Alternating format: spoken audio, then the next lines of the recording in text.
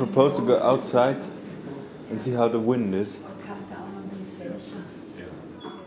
It's important to know a person and to know how a person thinks to understand the person's work Yeah, he or yeah. she is doing Sure, sure. and the tradition of thinking that's behind. So, my first question always is as a child, what was your dream job? That's really interesting. I think it was to be a mechanic or something. I had no real interest early on. And then eventually I decided I wanted to be a physicist, a nuclear physicist, because I liked physics and I couldn't really understand it. But my mathematics was so weak, I think that kind of decided it. But what happened really was I was in America on December the 3rd, 1967, when Professor Christiaan Barnard performed the world's first human heart transplant in Cape Town at I the see. hospital. Okay, I remember And- those days. Yeah. I, I woke up three months later and my brain said to me, You're going to study medicine at the University of Cape Town. Ah. Before that, I honestly had no idea what I was going to do. None so at all. you are not from South Africa. I was born in Zimbabwe. Okay. That's right. And I was, my parents moved from Britain at the end of the Second World War. yeah. They moved to Rhodesia, as it was yeah. then. Okay. which was a massive risk because my father was going with no job and he just developed his own job in, in Zimbabwe. So, Entrepreneur. yeah, so he was Starting from school. very brave Yeah. to, Yeah. in 1946, to go with my sister Yeah. and my mother to this new country.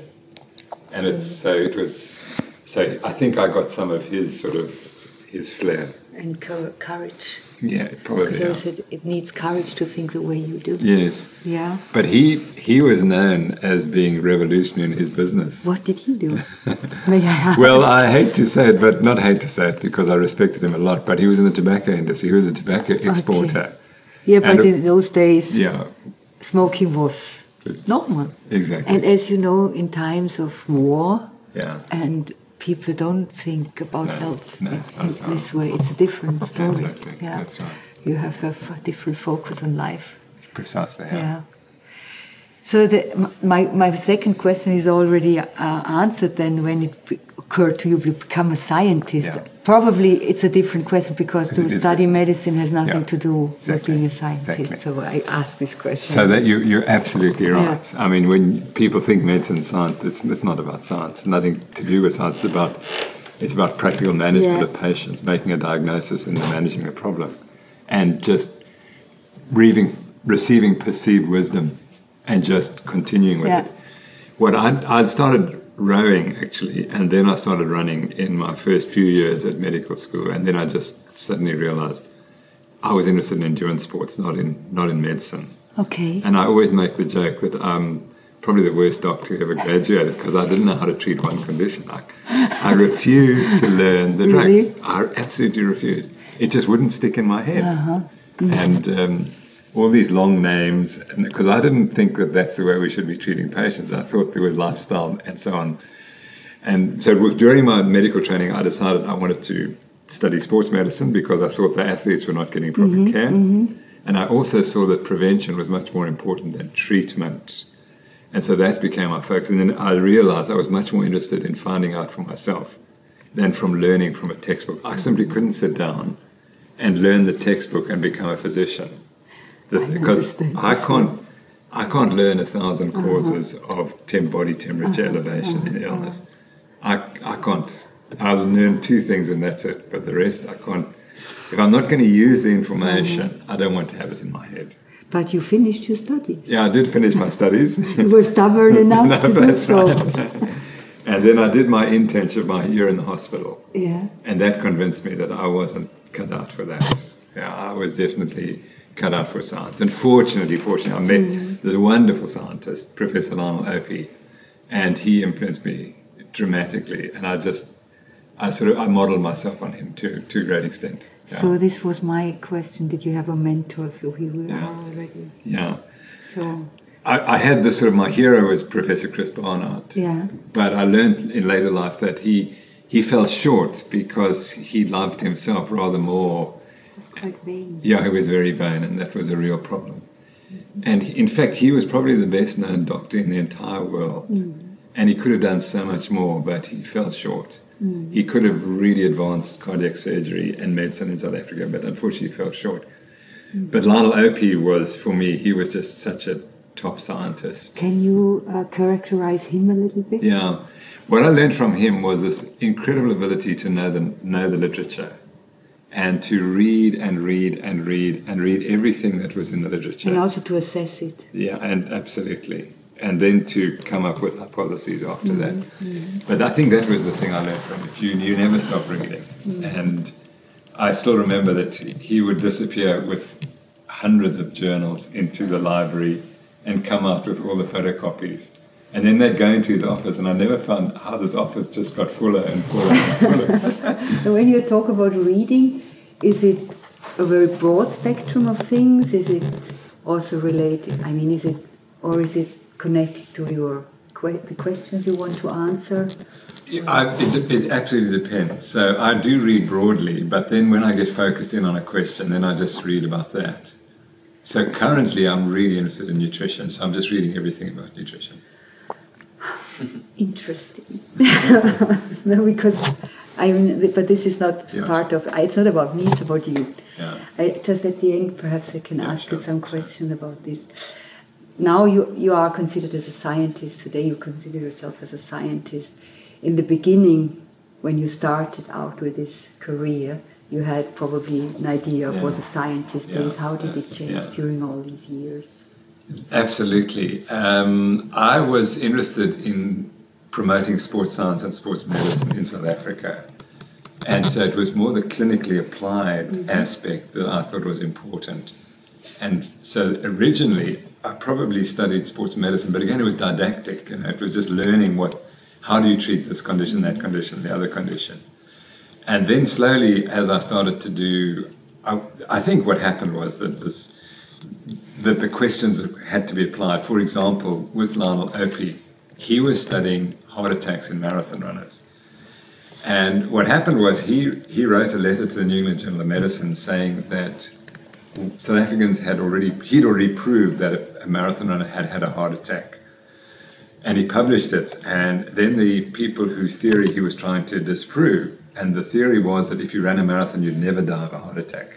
They said, no, Lionel, you've got to provide the autopsy evidence. And he couldn't provide the evidence because there was no autopsy. Mm-hmm. And I think that suddenly made me realize okay, this is what science is. Science is actually providing the real evidence, and it's not bogus mm-hmm. evidence. So, mm-hmm. so, uh, th- so we were able then in the next two or three years to pro- to find patients who in fact died from heart disease where we could document an autopsy, and we published that in the New England Journal of Medicine. So I slowly was getting the idea of what science is all about. And then the, the, the, the patient I spoke about today in 1981, where she developed hyponatremia during the Comrades Marathon, and she wrote to me, and then I decided, okay, I'm going to prove what causes this. And so then I just tried, I began slowly to understand what science is. So this was a breakthrough in It- somehow. yeah, it was definitely yeah, a breakthrough. yeah. And I slowly began to realize the idea of hypotheses and testing, and then eventually disproving hypotheses. And- Because this is actually what we don't learn when we study medicine. no, not at all. Not at no Not at idea about No. these things. And that was I was so fortunate to work for five years with with Lionel Opie in a laboratory. Wa- is was it due to him and you that South Africa at Cape Town University became one of these spots doing research in in, in, in sports? I, I definitely he put me on the right track, yeah, and then I think I was fortunate. It was you see what was interesting. I decided all along that I had to have the public on my side. Mm-hmm. So when I wrote Lore of Running the first time in 1985, I wrote it. In fact, to a to explain to my father why I loved running because he didn't understand at all, and it, it took him a long time to learn. But it was also to express to the general public that science is important. And that's what I pushed for the last 30 or 40 years, is the public has to understand what's the role of science. And the, the thing is that South Africans are mad about sport, like many European countries. Mm-hmm. And I knew that if I could prove that, that science could help athletes perform in different sports, that the public would buy in and they would mm-hmm. say, oh goodness, that's then science of sport is important. Among the scientific community, do you feel like an heretic that Uh, was somebody crossing forbidden border? Forbidden border? Yeah, one of the beauties of, of living in South Africa is we're so far from Europe and we're so far from North America that it doesn't really matter. And in fact, I get praised in South Africa for being a heretic because because uh-huh. they like people to come up and stand up to the Americans and the Europeans. And because I uh, remember, as I said in my talk, that we have this inferiority complex about America. Even Europe has this inferiority complex. So we bow to America and and when you're sitting so far away, it's great because you can just take on these these dragons and slay them, and that their dragons don't even Yeah. know they're being attacked. so, yeah, yeah.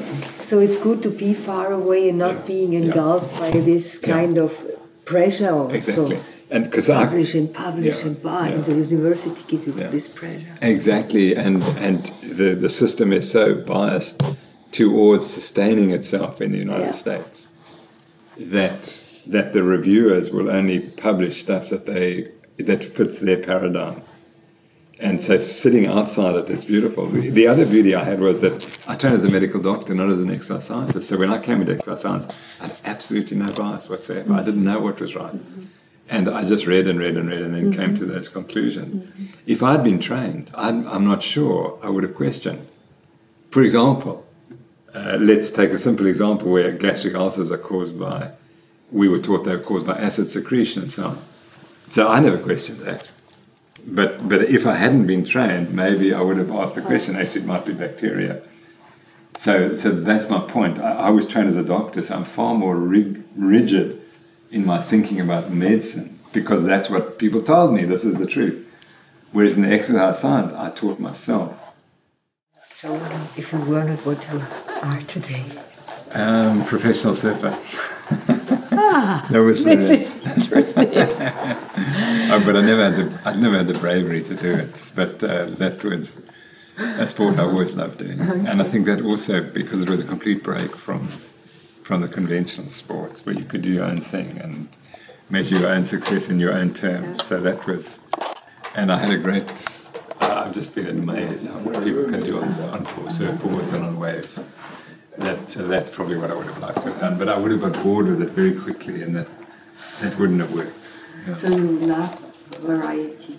Yeah, no, definitely. Although I can be very focused on what I do, I do enjoy variety. That's correct. What what role plays running in your life? Running is critical. It was, it was really what made my life. I think because when I started running, I discovered that I was really designed for it, and so not designed physically for it, but designed mentally for it. And today, I still I, I try to run every day. And the interesting thing is, I, I run as hard as I possibly can every day. And so I don't just go out and jog. It's like it's a race, and I actually can push myself harder in training than probably than I do in races now.